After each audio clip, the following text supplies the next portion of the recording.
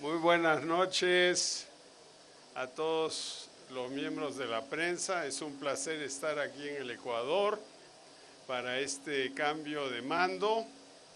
Es un país amigo, somos vecinos, tenemos excelentes relaciones y si hay más declaraciones las daré en el hotel más tarde, pero no tengo nada en particular que decir aquí, salvo mi amistad eterna con el Ecuador. Gracias.